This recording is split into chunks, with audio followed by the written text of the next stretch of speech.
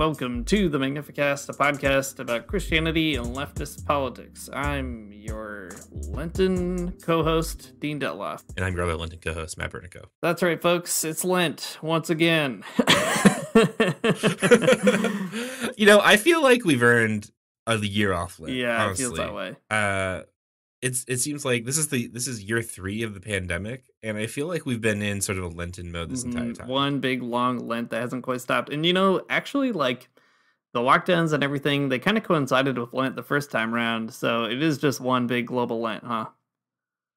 Yeah, that's true. Man, I remember uh during the first lockdowns, people people were like uh, people, I mean right wing politicians were like, we're gonna make sure things are back to normal by Yeah, Easter. yeah. And our society did not rise indeed. didn't say which Easter. That's right. Three re- Easters from now, we're going to be back in church with one for on. each day Jesus was in hell. wow. Well, that that's a bummer. Like always, we're starting this podcast off at a real low, but that just means that you know that we can just there's only up. That's right. Here, so that's cool. Um. Okay. So you might remember um a few months ago we were in Advent, another great liturgical time of the year, and we decided that we were going to structure our episodes around the big themes of Advent, and we did that. We talked about hope, peace, joy, love, all the good ones, all of your faves.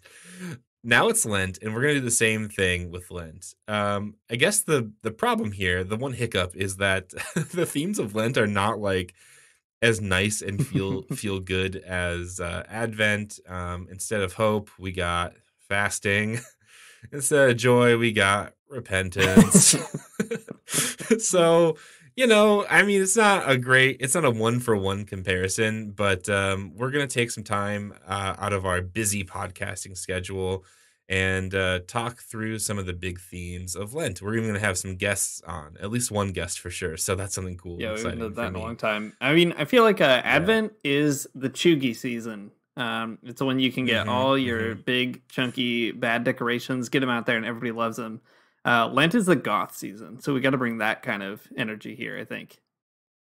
Man, someone else was just telling me that this evening that Lent is sort of goth, and I I I vibe with that. That sounds good to me. So, um, just like we did during Advent, we're gonna pick up some of the big themes: fasting, almsgiving, repentance, simplicity. Maybe not those exactly, but uh, you know, orbiting around those ideas. And we're gonna think through what they might mean politically, because that's what we do on this podcast. Um, forsaking the individual spiritual because it's too because it's it's too ruined by our evangelical past, or, be, or at least in my case, that's the that's that's what's happening uh, and we're going to think about what's happening uh, with regards to these ideas, sort of structurally or politically. And uh, I don't know. I think it'll be a good exercise, if nothing else, for our Yep. brains. And that is the kind of exercise I like to do. when people think about Lent, they think about probably one thing in particular, and that is during Lent, Christians give something up. Uh, Dean, what are you giving up for Lent? You know, I am not giving anything up. That's a big twist. Uh, this year, in fact, instead, I'm going to add something to my life. Um, so I have been trying to cultivate a more active prayer life in my life. Um, not very good at it. Don't like to do it. um, and so this year for Lent, I'm seeking out uh, prayers, especially from kind of the liberation theology tradition, but things to kind of connect me a little bit more personally and intentionally with my spiritual life um, at the end of the day before I go to sleep. Um, that is usually when I have some alone time. So I'm going to do that, and I'm going to write some letters once a week to people that are important to me. That's my Lenten practice. It's too hard. Life's too hard to give anything up right now. That's how I feel. Yeah, I'm with you. Uh, things are very difficult. Um, it's just a horrible time to be alive in general. I mean, it's not all bad, but I'm I'm with you. I couldn't possibly give something up right now. I feel like if I, I everything I'm doing is just really the bear I need to stay kind Yeah. of like a, a an okay sane. it's like. I don't eat Um, meat. I don't eat sweets. I don't like chocolate and whatever else. Like what? It, what else is there? Video great games. question. What else is there? it. No, no. I mean, like if you video games are not the most important thing in the world, but at the same time, um, right now, I think everyone needs a nice distraction, and video games are one of them. So don't give those up. I mean, whatever you you do you out there, listener. I'm just telling you, Dean, personally, right, right, don't right, do that. Thank you, thank you, uh, Pastor Father Matt. Yeah, thank you. Um, I'm also not giving anything up. I don't think I gave anything up last year. Um, but like yeah, I don't know. I'm I'm adding um that I'm gonna go do. Our church is having a Wednesday night Lent situation. is that what they um, call it on the that's posters? What, that's what. That's what it says in the branding. Yeah, I kept telling their, our priest, "Hey, man, don't call it a situation. That's really bizarre." And he said, "No, sorry. That's that's the Anglo Catholic way. A, it's a Lenten situation. It's just a Lenten meet and greet with that one guy from Jersey Shore. That's right. Leading a Bible study. that's right. He's a he's Episcopalian. The situation, if you didn't know that. Um. Anyways, I decided I'm going to do that with my family, and um, I think that's as much as I can handle right now. Honestly, mm-hmm. I don't I don't know if I could add another thing. You know, when life. I went to an Episcopal church for a little bit, uh, they had a Wednesday night soup night, which I guess is probably hard to do during COVID, but it was actually very cool. Um, I feel like the funny thing about Lent is it's supposed to be kind of simple and you know not getting uh, too wild, but this was not really like that. It was like everybody bringing the best soup they could think of, and somehow oh, because soup is like a simple food or whatever, we all convinced ourselves that was a good Lenten thing to do. But yeah, what a great Wednesday idea. That's great. Yeah, we're having a uh, at our Wednesday night Episcopalian situation. We are having uh, pasta. We're it's it's pasta every week, so that's something kind of crazy. Wednesday night Episcopalian situation, by the way, is such a great name for your Christian synth pop band. Yeah, I think so. Um, we're doing Christian covers of Vampire Weekend songs, and the, it's out of control. The apologetics for synth pop is a very good idea. That's going to be in Righteous Gemstones at some point. Yeah, Yep, I think uh, when they when inevitably it happens, we're gonna have to write them and tell them sorry. We did come with this idea. Yeah, first. we are litigious. that's that's very true. You know, I was thinking about this a little bit. Um, I was explaining what Lent was to my son, who is seven, and I don't, I didn't do a great job, honestly. I was trying to tell him that people give things up during Lent, and he was like, "Well, what are we going to give up during Lent?" And I was like, "I don't know. We're going to just do something different." Um, anyways, it made me think about the first time I learned what Lent was because uh, growing up in, a, in, an evangelical household and evangelical church, Lent was not something we practiced in sort of a real way, like not in the not in the way that Catholics or most mainline Christians do.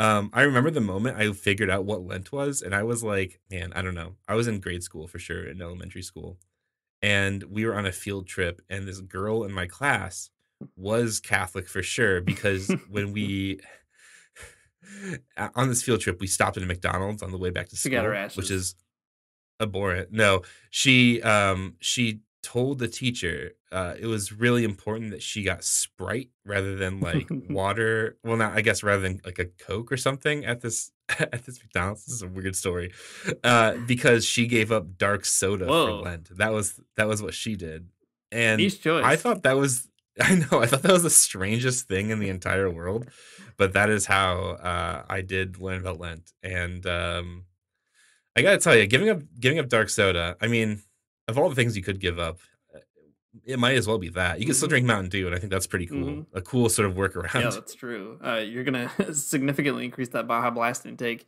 Um, what's the weirdest thing you've ever given up for Lent? I mean, again, uh, being an evangelical, nothing okay. ever barely ever.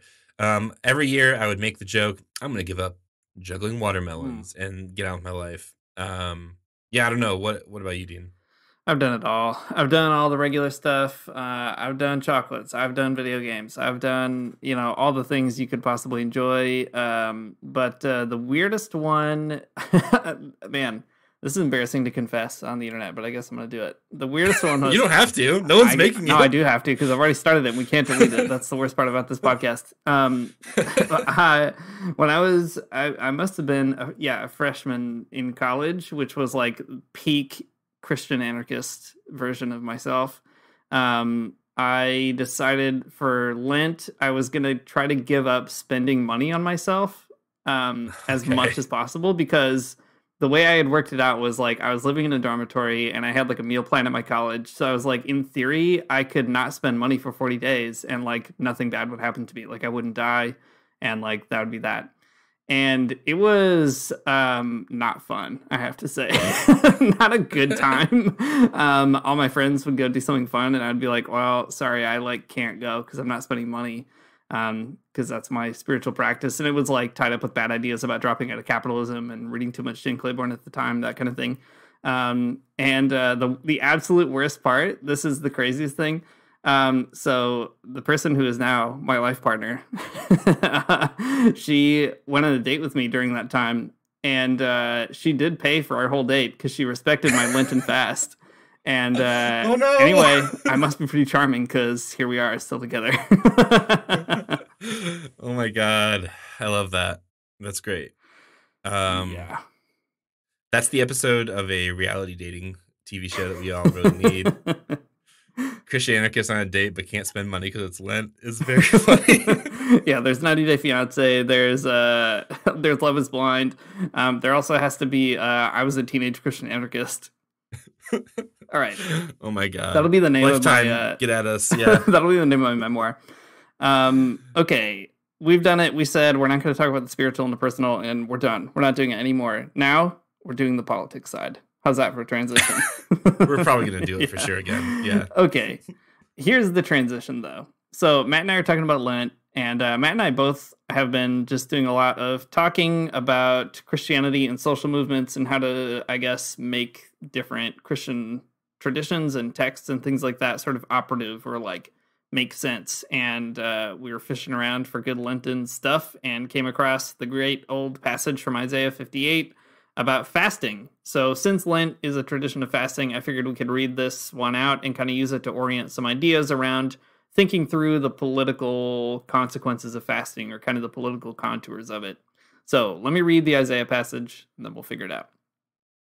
So, Isaiah 58 says, Why do we fast, but you do not see? Why humble ourselves, but you do not notice? Look, you serve your own interest on your fast day and oppress all your workers. Look, you fast only to quarrel and to fight and to strike with a wicked fist. Such fasting as you do today will not make your voice heard on high. Is such the fast that I choose, a day to humble oneself? Is it to bow down the head like a bulrush and to lie in sackcloth and ashes? Will you call this a fast, a day acceptable to the Lord? Is not this the fast that I choose? To loose the bonds of injustice, to undo the thongs of the yoke, to let the oppressed go free, and to break every yoke? Is it not to share your bread with the hungry and bring the homeless poor into your house? So there you have it, folks. A great fasting passage that you can use to guide your Lent. Uh, it doesn't take a whole ton of work to pull out the political stuff going on in here, but I got to say, uh, a powerful passage on fasting. Uh, not the kind of thing I usually hear in my own kind of uh, Lenten journey. Yeah, you know, I think it rules because I mean, when it does come to Lent, when it does come to things like fasting, um, it becomes a conversation about sort of like individual spirituality. It becomes like, you know, individual sort of discipline, disciplining your body, not eating or doing some other kind of practice or whatever.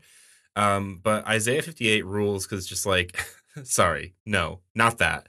Fasting, that's not the one that we're about. We're about the one where we let people go free, where we free the prisoners, where, where we fight against injustice. And I'm all about that. That's so much um i think so much more interesting i think than the sort of like individualistic fast of like uh i'm only gonna drink clear soda but i am gonna also steal the wages from my workers or whatever.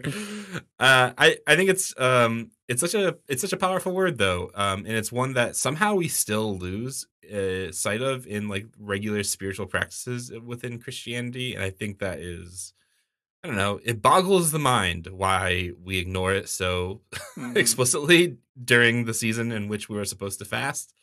But here we are. Yeah, you know, I mean, this passage, the thing that I thought of right away in the beginning, uh, so all the way back, he says, Look, you serve your own interest on your fast day and oppress all your workers.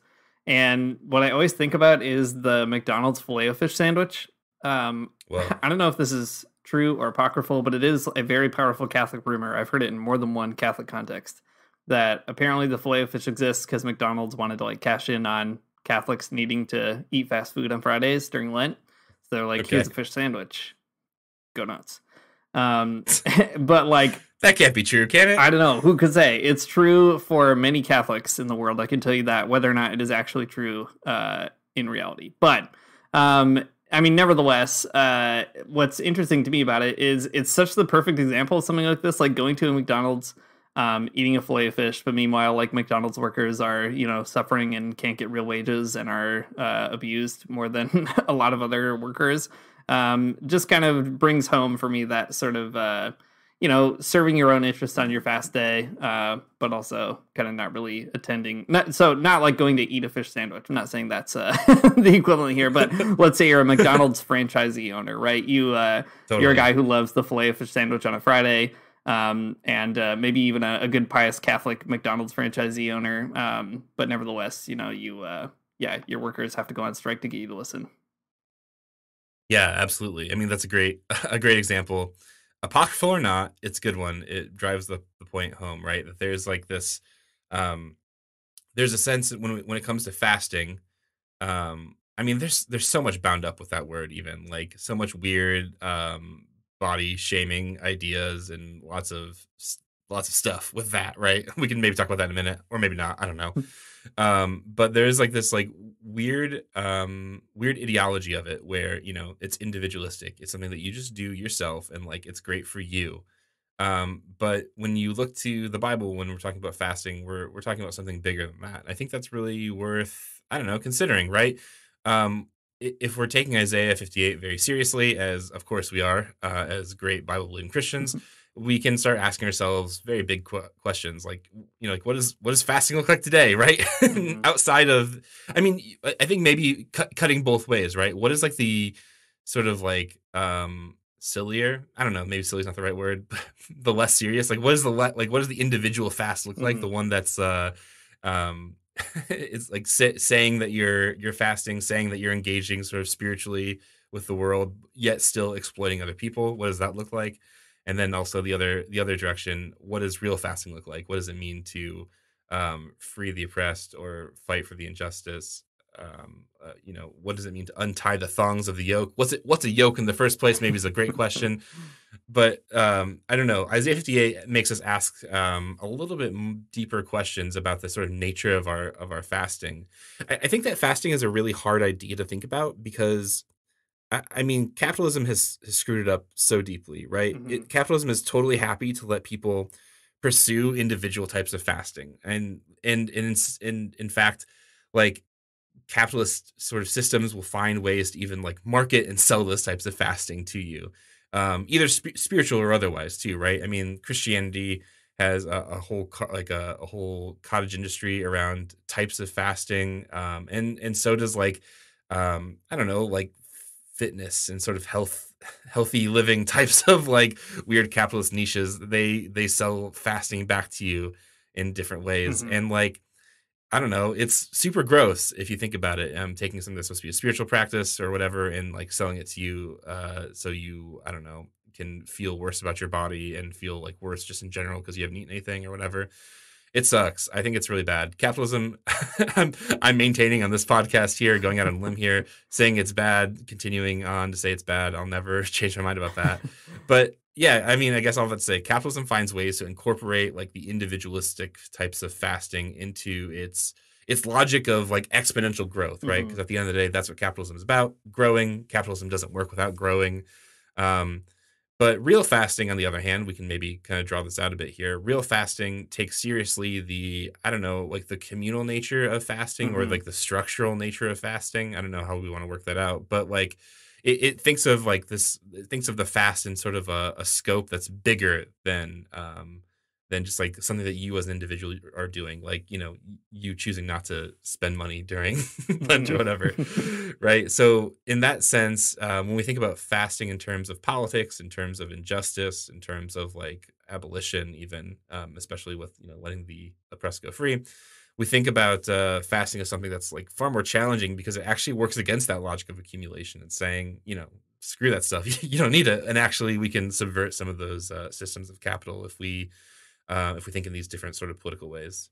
Yeah, I think too, if we think structurally, it actually deepens the more personal fasting commitments that we take as well. Like, um, so you know, I was making fun of myself earlier for the the money fast, but uh, one thing that was actually very cool about it is fasting. You know, it's not just like an endurance thing. It's supposed to orient your mind and uh, your your heart or spirit or whatever to think about God, but also I think to think about the oppressed. That's a Lenten tradition as well that you should be identifying with the poor And uh, for instance, if you give up some kind of luxury, it's supposed to, you know, tip you off that, hey, did you know some people can't have that luxury even when it's not Lent ever because they're poor.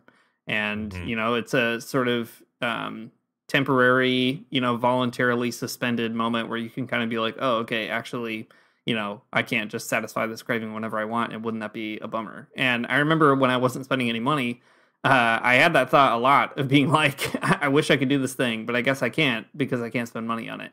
And, you know, it's like those little reminders during the day. If you do have a, uh, a kind of more structural thing in mind, I think it can draw you more deeply into those struggles. But like, it really depends on making that connection. Otherwise, Lent does become I mean, it's it's like it can be such a weird neoliberal tradition in a lot of ways, right? It's just like about you kind of doing your spiritual thing with all your own personal responsibility and might to like work harder and like have this kind of heroic Christianity that can get through the suffering of it. And uh, I think it's important to always root that back in some kind of even that personal piece in some kind of social recognition. Right. Yeah, that's actually a good point. I mean, I've been um I've been coming down pretty hard on the individual side of it, right? but I think that you're right to draw out the that there is like sort of a a spiritual like tran like a, a spiritual idea on the other side that might, you know, be kind of individualistic in the sense that it changes the way that you think. But uh it's worth saying it's it's worth pointing out though, right? That there's like a very shallow individualistic way of thinking about it, and then there's maybe like a deeper and like richer way to think about it as a sort of individual spiritual practice on the other side of uh, thinking about um, fasting politically. Yeah, I mean, it's like any spiritual technology. You engage in it because you want it to change you in some way or other, and you should want it to change you in a way that makes you commit to solidarity, I guess, with others instead of just be a good person in some vague, abstract way. Um, Totally. but I think you're right, right? Nevertheless, all that being said, uh, it's way more fun to think about the political ramifications because people don't do it as much. And uh, I find myself thinking about this kind of thing a lot. Like, how do you scale up these Christian commitments that a lot of us are familiar with into uh, broader social consequences? Or it's like, if I'm committed to this idea that I should live simply, for example, during Lent, what would that mean if I wanted to live simply in kind of a I don't know, like a bigger concentric circle, like thinking about the world around me. And I think there is a ton of ways of getting into that conversation. You know, we talk a lot about like structural change on this podcast, revolutionary change, transformational change, however you want to put it.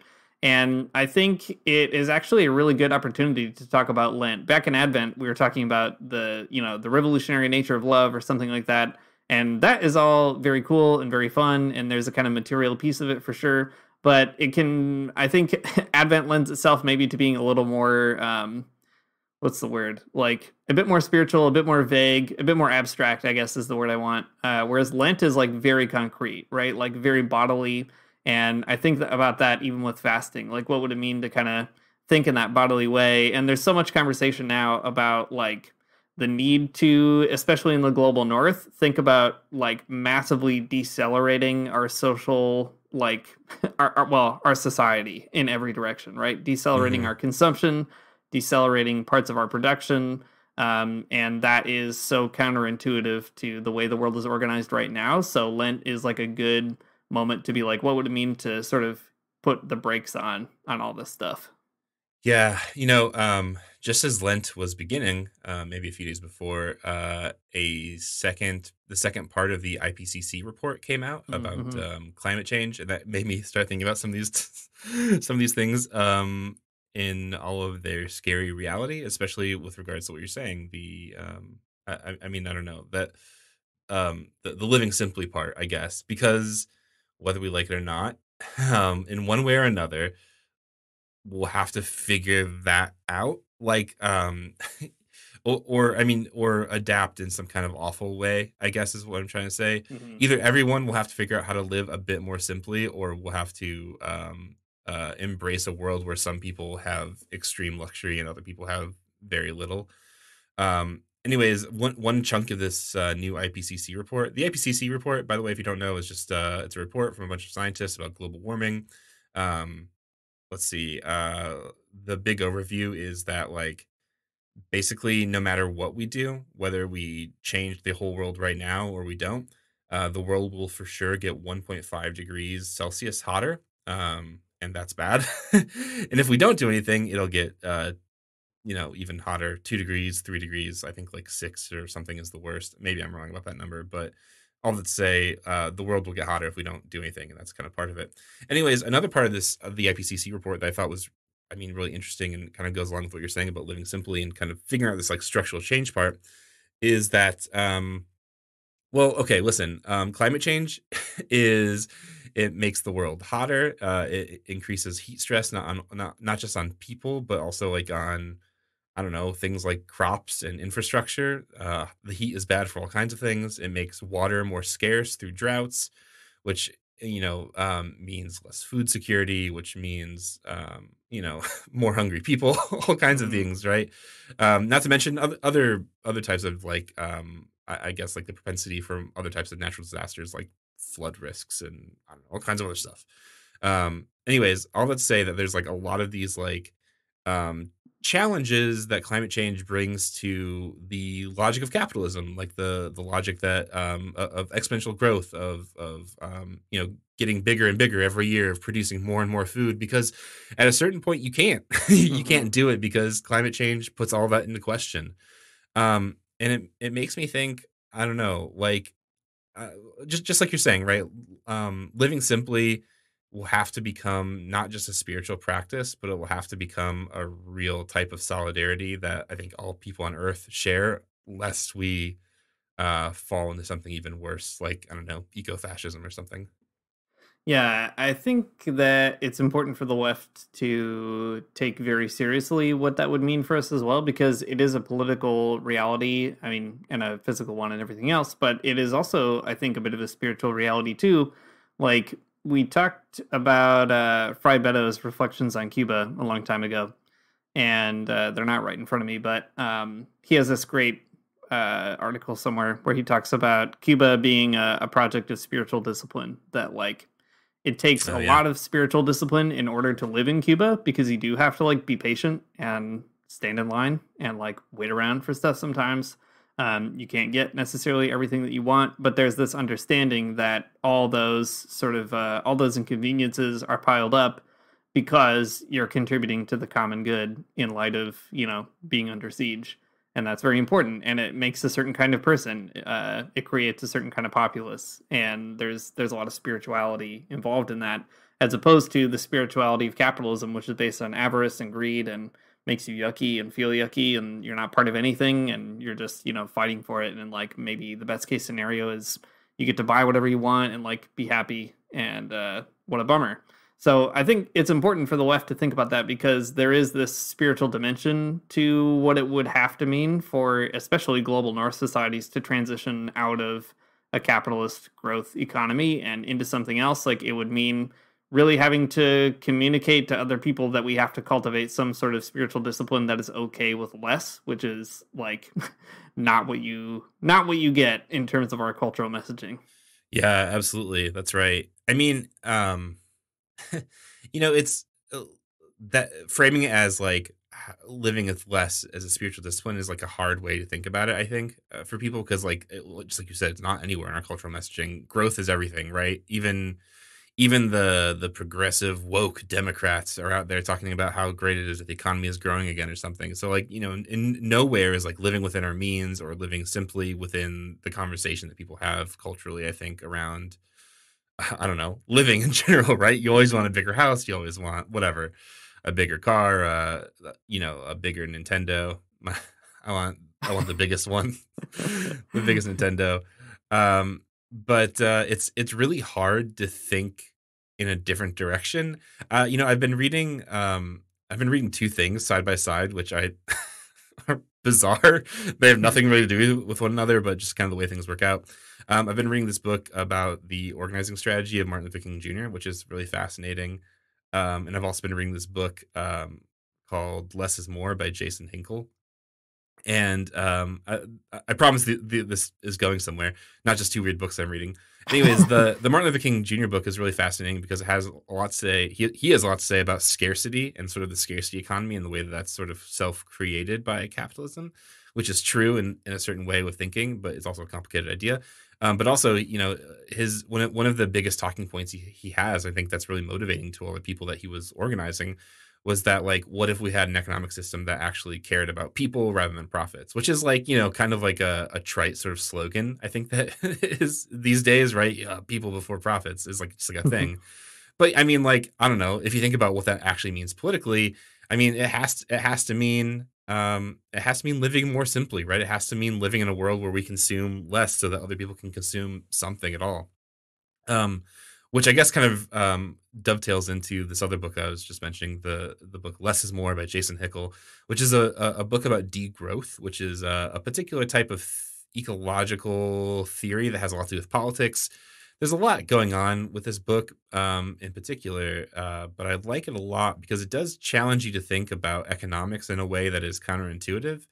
Um, for the, I mean, the very reasons I was just saying, right? That everything within our cultural messaging is always about growth, job growth, GDP growth, um, the growth of productivity, the growth of wages, all of these things, right? Growth, growth, growth. It's through the roof uh, the the the thing that's really subversive about Hickel's book uh, and about degrowth in general is that it's suggesting that like maybe we're thinking about it wrong. Like maybe um, maybe to to do things like putting people before profits, we might have to think about growth. Like is is growing predict- productivity for the sake of productivity, or growing the economy for the sake of the economy, or even growing jobs for the sake of jobs? Is that like really a growth worth having? Is that a growth that does something for us?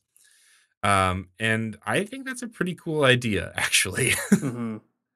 um, yeah, I agree. I mean, it's also helpful to bring that into conversations on the left too, because I think that I don't know. There's sometimes you see certain discourse uh, where people will be like, "We want infinity pools for everybody," you know, like right. socialism Luxury, is about communism. Yeah, exactly. It's about expanding uh, a consumerist lifestyle uh, to everybody and convincing people that like you don't have to give anything up to be a socialist. We just, you know, the rich have to give it up, and then it will all come down to all of us, and then we'll all be, you know, drinking champagnes in our personal hot tubs in our like one bedroom apartments or whatever. And I think it is really a dangerous rhetoric to kind of spread that around because it creates like unreal expectations for everybody, right? Like that kind of world is literally not possible. We couldn't like uh, I forget what the statistic is, but the amount of planet Earths we would need for like everybody to uh, consume in the way that the United States could, could consume is a lot. I mean, it's more than one, so it's already a lot, but it's many more than one. It's uh, you know, like it's it's literally not possible to expand those consumptive patterns. It is the peak of, of human consumption, and it needs to like go down if if we're gonna do anything at all uh, with everybody in the planet. And I, I don't know. It's just it's good to bring the degrowth kind of idea into conversation on the left because that is really what the global north has to do. It has to uh, decrease um, if there's going to be any kind of justice in the world. Yeah, that's right. You know, a few years ago, there was a really popular book called Inventing the Future by Nick Srnicek and Alex Williams. Um, it was like a cool, a cool graphic designed um, verso book. And like, I think there are some things that are in it that are really interesting and pretty good. Um, I mean, the whole book is sort of focusing on automation and um, and like a, a guaranteed income and you know socialism, those three things which are cool. But part of the assumption in the book is that like, well, no one's going to ever get on board to socialism if um, they have to give up sort of the consumptive lifestyle. And I feel like that. I on the one hand, like I guess maybe that's true, or at least it's it does ring true in some senses in the way because because consumption is such a pervasive ideology. It's such a hard thing to like really. I don't know. How do you get people to stop buying things? It's very difficult. Mm-hmm. Um, so I mean, there's probably some truth to it, but also like it is untenable. Though it is like a, it is uh to have a to have a type of socialism that can functionally deal with ecological collapse it, just like you can't you can't have the consumptive you can't have the same consumptive patterns just it just does not mm-hmm. work and i don't know i mean i guess that's too bad but i think it's probably the truth um so uh, let me talk more about this Jason Hickel book. I, I have a good mm-hmm. quote from it that might kind of help frame some of like what's happening, or like maybe some of the some of the I don't know weight behind the argument. So Hickel says that this. Uh, Hickel says this. Nearly a third of all the labor we've rendered, all the resources we've extracted, and all the CO2 we've emitted over the past half century has been done to make rich people richer. Once we realize that we don't need growth, we are free to think much more rationally about how to respond to the crisis that we face, the crisis being ecological destruction and collapse.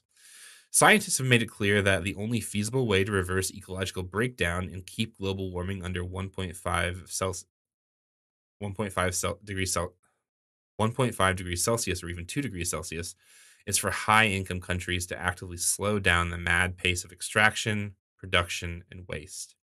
Um, he goes on to say a little bit later this is what we call degrowth, a planned downscaling of energy and resource use. A planned downscaling of energy and resource use to bring the economy back into balance with the living world in a safe, just, and equitable way. Um, we've talked about this, I think, as an idea on the on on the podcast before. I don't think we've ever used the phrase degrowth, or maybe we have, maybe we haven't. It's it's, it's anyone's guess, but there is this other kind of uh, phrase that we've talked about from a, a guy named John Bellamy Foster, um, the ecological rift, right? This this idea of like balance and um, the ways that humans have to have sort of a balanced relationship with the uh, with ecology because if you don't, I mean, like you can't live, right? Once those two things get out of whack, um, you end up having these like pretty large scale problems like climate change and, and whatnot. But eh, all that to say, I think this is a really helpful.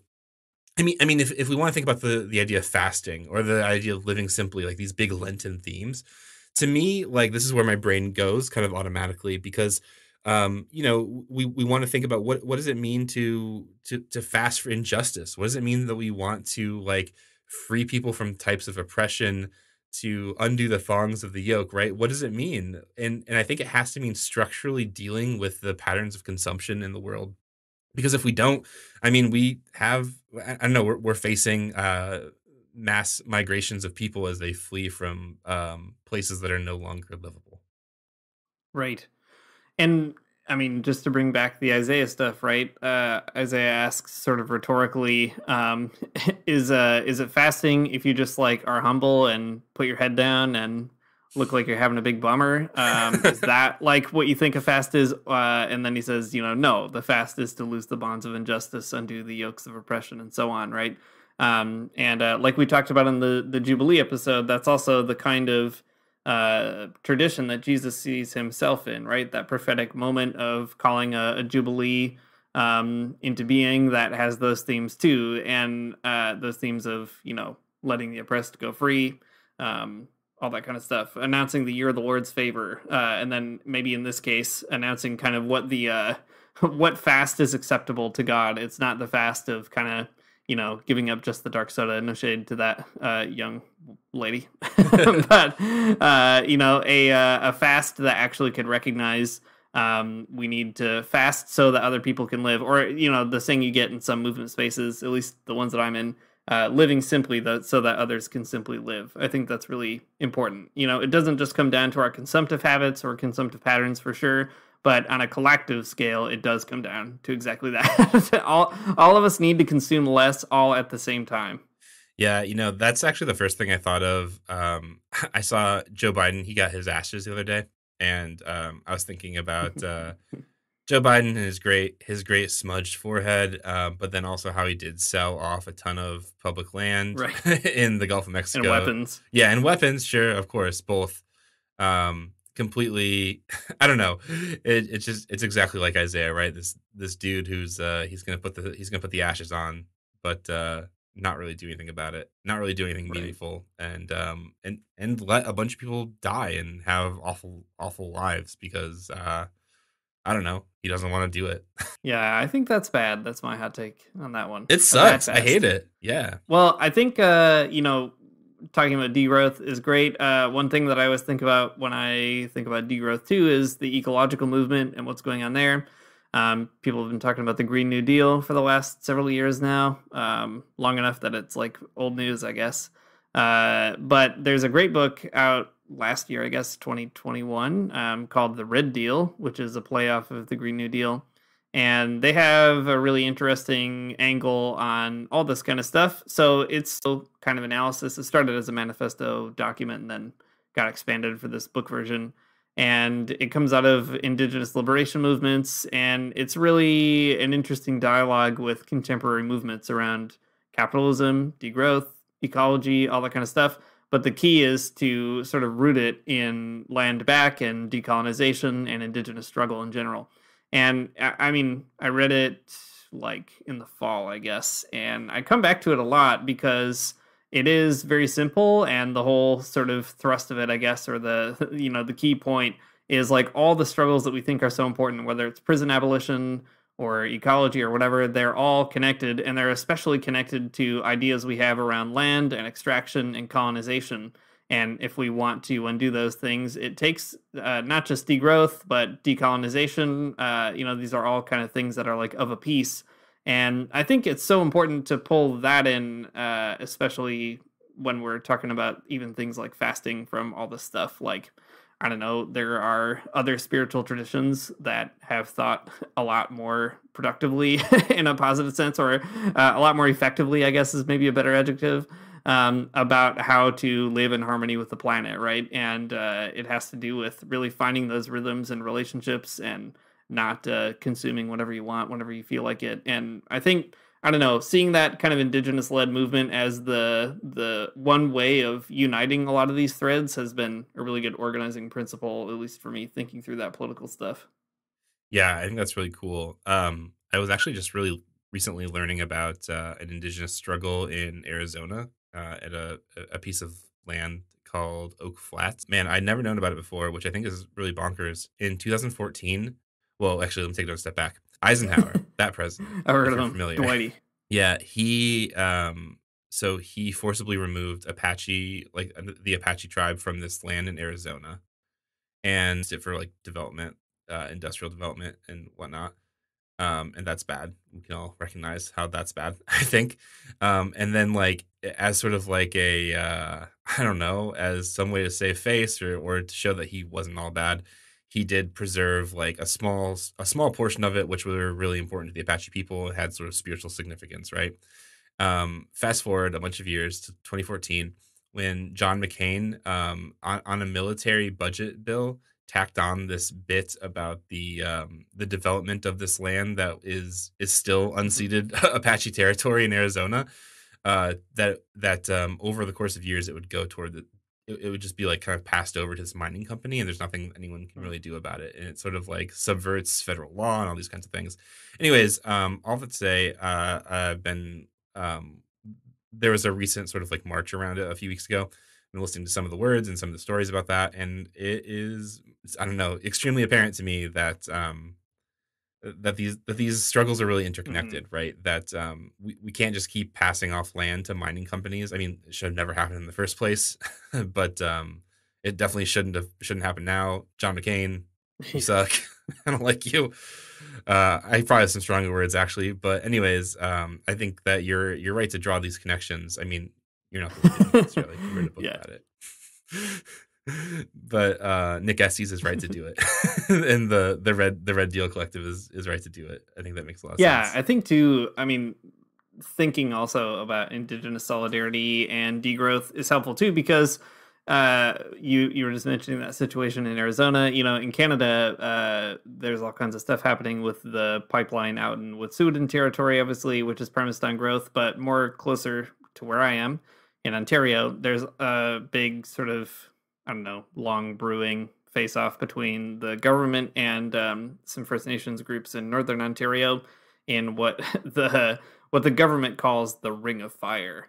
Um, but uh, it is I don't know, like it's like on their website. I was looking at it today because I was uh, just reading some calls to action on their website. They say that it is like one of the most promising mineral development opportunities for like critical minerals, as they call it. Um, I don't know what they are, but there's a lot of uh, mining in Ontario generally. And anyway, so they want to mine this particular area or allow mining companies to do it, private companies, uh, just to have access to it. And it is really wild because they were supposed to enter into this um, dialogue with the First Nations peoples there. And as you can guess, it has not gone well. Um, and uh, there's all kinds of different things happening. But what's really wild is like the First Nations people there call it the breathing lands more generally rather than the Ring of Fire. Mm.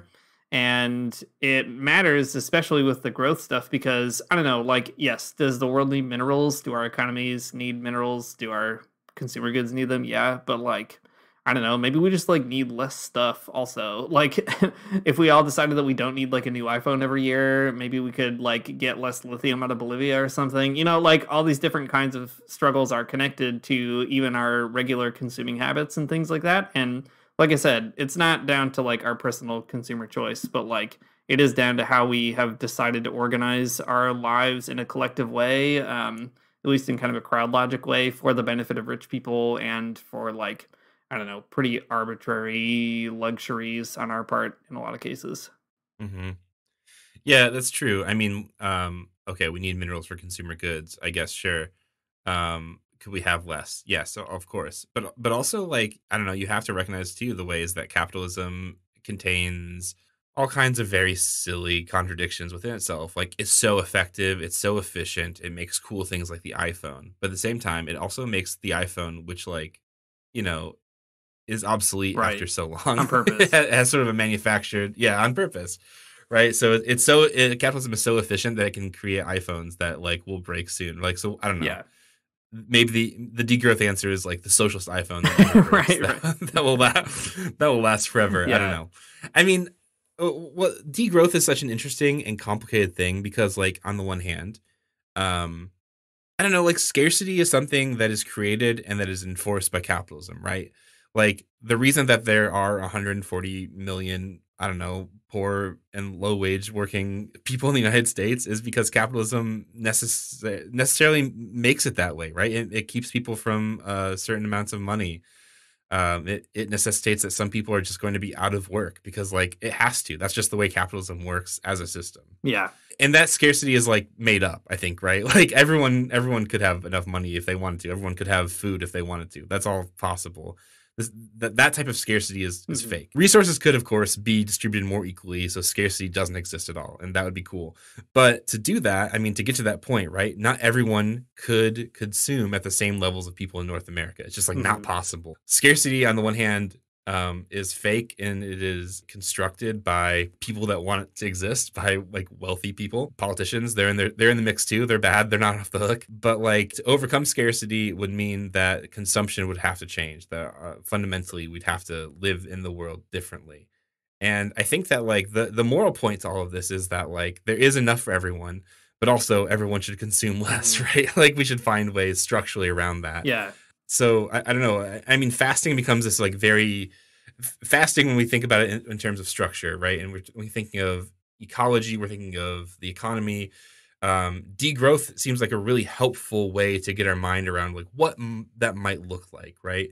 But it, it means that like we have to do things significantly different, right? You know, it's funny. So I work for Development and Peace, Catholic organization in global solidarity here in Canada, and uh, we are kind of going through this process of like thinking about our next steps as an organization and then all that kind of stuff. And it's been really interesting to follow that process, uh, especially because our name is complicated, right? Development and peace. Um, it comes out of a papal yeah. encyclical uh, where the Pope said that development is a new name for peace in the 60s. And uh, that's all very interesting. But the term development obviously has um, a lot of stuff loaded into it. Uh, development according to who, who's doing the development, developing in what way, and for whose purposes, and all that kind of stuff. Those are questions that aren't answered in that one word, right? And development discourse has often meant uh, capitalist development and so on. So, anyway, development peace has been very aware of all that conversation for a long time, but we've had this name for over 50 years. So, what are you going to do? So one way that uh, some of the literature that I've been just reading is talking about it is to say uh, it's not actually just the global south that has to develop, but also the global north that has to develop in such a way that is like yeah. an integral uh, relationship between the global north and the south, one that is you know uh, mutual and not a matter of like oh there are, there's the developed world and then the non-developed or underdeveloped world, but rather you know this kind of uh, equalization of relationships. And I actually really liked that way of splitting the difference of being like, um, you know, the global north is actually severely underdeveloped when it comes to like uh, our own spiritual resources or like our ability to be in solidarity with others, which like the global south Yeah. has in abundance, you know, um, Right. and uh, Our our basic moral Yeah. thinking, like we have none of it. exactly. So being able to kind of also think about that uh, in light of degrowth stuff, that actually like we have to maybe grow in some other ways, you know, degrow in the material way and uh, grow a lot more in uh, moral or, or kind of spiritual ways. I think, uh, you know, maybe at the very end here, one thing that is so fascinating about fasting as a tradition is it's kind of one of those weird Christian ideas that has this goofy paradoxical logic in it, where it's like if you give something up, then you'll get something kind of tenfold, right? If you give up a material good or material luxury, then you'll gain this kind of spiritual wisdom or spiritual insight or whatever that is, you know, rich beyond riches and so on. And I think that can be pathological and very bad and dangerous, obviously, in lots of ways. But uh, I think that also experientially, if you do it in a healthy way, it is true, right? When you kind of when you're able to give something up and it it kind of directs your attention toward the poor and toward God, it does encourage you to, I guess, have a richer life um, in that way. And I think maybe that's how I feel about the political piece of this too, right? If we were all to sort of give something up, we'd probably get a lot back. Um, 10 times over but it, it really is difficult to like break that addiction to uh capitalism the addiction to consumption all that kind of stuff so maybe that that's my lenten dream this time around is i'm going to try to give up as much capitalism as possible and just see what i get Thanks for listening to the Magnificast. If you like what you heard, you can support us on Patreon at patreon.com slash the Magnificast. Or don't. Maybe you've given up Patreon for Lent. That's fine. But don't give up rating us on iTunes. um, take that one on board you can do that if you've never done it That's right. That's the Lenten practice that you can add is giving us a review. That would be great. Our intro music is by Amaryah Armstrong. Our outro music is by The Illogical Spoon. And we'll see you next time.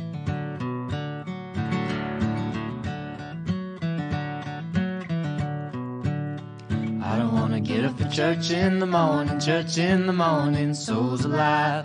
Heaven come to earth and there won't be no church. We'll meet down by the riverside. There we'll swim with all creation. Never get tired, never bored. Don't worry, someday there'll be no dam between us and our Lord.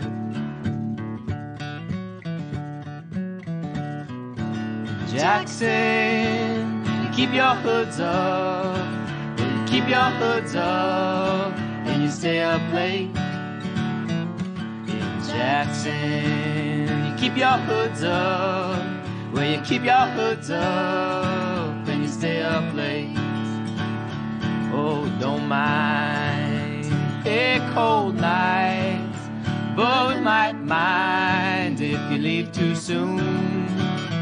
So come on now, it's still early. Will.